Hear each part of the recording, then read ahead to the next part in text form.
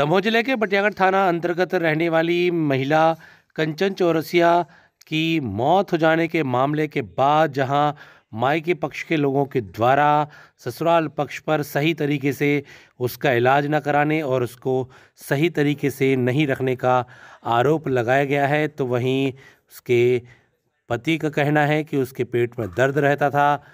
Delivery के बाद उसका दर्द शुरू हुआ और इस वजह से वह बीमार रहने लगी और उसकी मौत हुई। है हालाँकि महिला का पोस्टमार्टम कराया गया है। पोस्टमार्टम कराए जाने के बाद जो भी वजह सामने आएगी उसके हिसाब से पुलिस कार्रवाई करेगी। दोनों पक्षों का क्या कहना है आपको सुनाते हैं। शांतनु भारत की रिपोर्ट।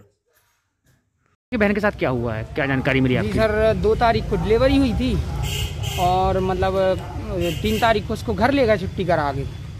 उसको अचानक से मतलब थोड़ी एक दो उल्टियाँ हुई और पेट में मतलब थोड़ा सा दर्द भी होने लगा।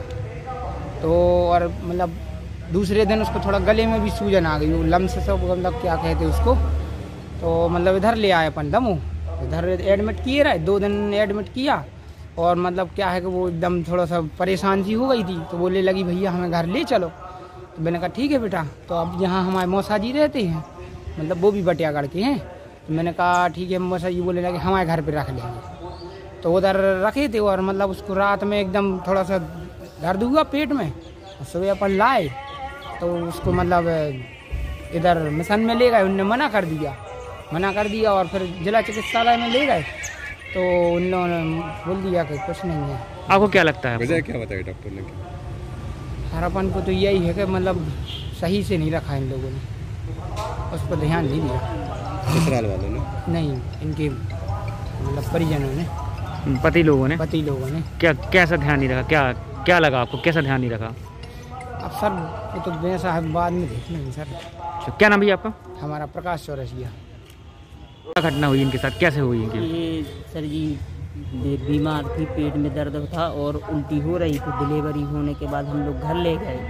घर ले जाने के बाद में पेट में फिर से दर्द हुआ।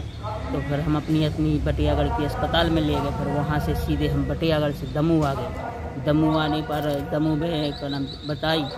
तो दमू में डॉक्टर साहब ने ट्रीटमेंट किया और उसके बाद पेट में जो दर्द होता पेट में मेन हम्म हम्म, पेट में दर्द था उनके उल्टी हो रही थी और पहले भी पेट में दर्द होता था। जैसे मान लो शादी हुई थी हमारी तो हम लोग छोटा जैसे पेट दर्द होता था तो वो लोग ट्रीटमेंट करवाते थे। शादी कब हुई थी?